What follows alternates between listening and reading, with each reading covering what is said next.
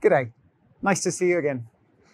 I'm safely back here in Bondi after two and a half thousand kilometers around the southeast corner of Australia, and I'm once again plugged into the Waverley Council Renewable Energy Electric Vehicle Charging Network. In my second video, I explained how the journey inland from Sydney to Melbourne was easy and inexpensive, almost anticlimactic. But let me tell you a bit about how the journey around the Victorian and New South Wales coastline was quite a bit harder. And let me explain about the bloody big gap in southeastern Australia and whether I got great dividing range anxiety. The drive from Melbourne started well. I stopped to charge in Moe, which took just over an hour and cost $6.24, although both ultra rapid chargers were out of order and I had to use a fast charge. The next charging point was with the wonderful Jane at RACV Solar in Bairnsdale, which was quite a bit slower, taking nearly three hours for $5. But there was just the one slow charger, and that was the last signed charger for 329 kilometres, until I got to Bega in New South Wales, which, considering my car's range is 276 kilometres maximum, is a bloody big gap. Luckily, I spoke with Michael and team at the Orbost Motel, who let me plug into a three pin socket right outside my room for an overnight charge, and I got to enjoy a truly beautiful part of Victoria.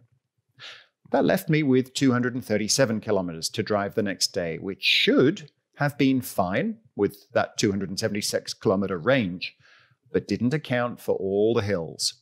The only reason I made it to the free NRMA charge point in Bega is because it's downhill the last few kilometers into Bega.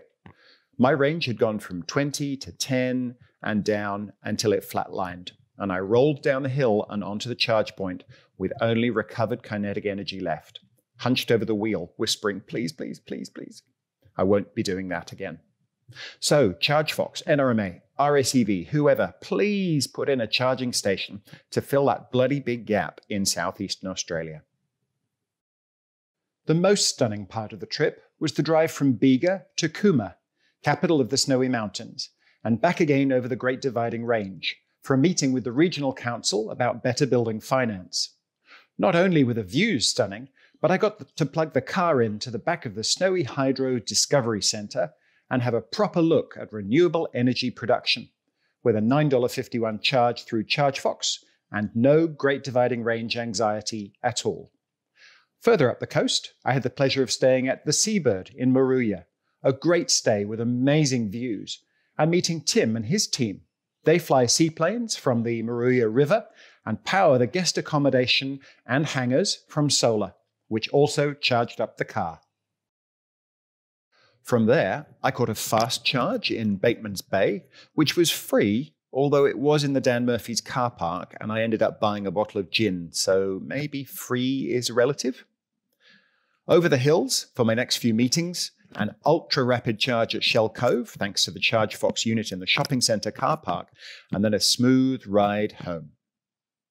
The total cost for nearly 2,500 kilometres worked out at just under 4 cents per kilometre, or $3.94 per 100 kilometers.